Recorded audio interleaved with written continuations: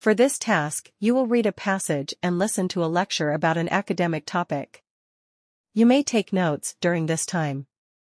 After the passages have finished, you will then be asked a question about them. After the question, you will have 20 minutes to write your response.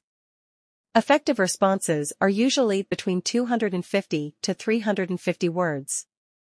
You may look at the reading passage and your notes as you write. Keep in mind that the question will not ask for your opinion. You have three minutes to read. You may begin reading now.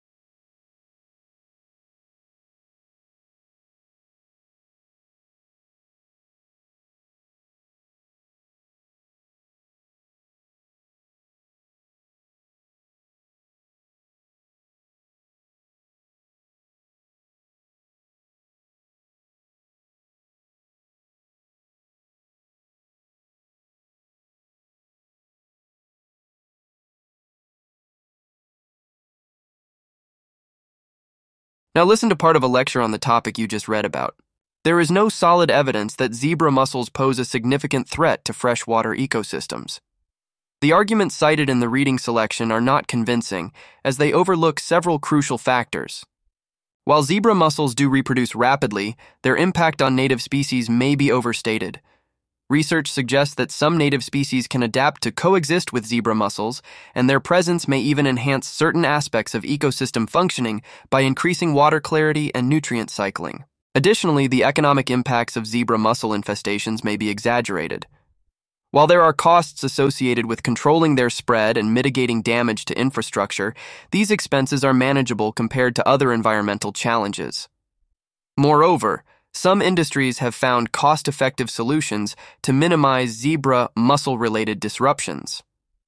Furthermore, the ecological disruptions attributed to zebra mussels may be part of natural ecosystem fluctuations. Ecosystems have evolved mechanisms to cope with invasive species, and over time they may develop resistance or new ecological equilibria. Therefore, claims of irreversible harm caused by zebra mussels may be premature and not grounded in empirical evidence.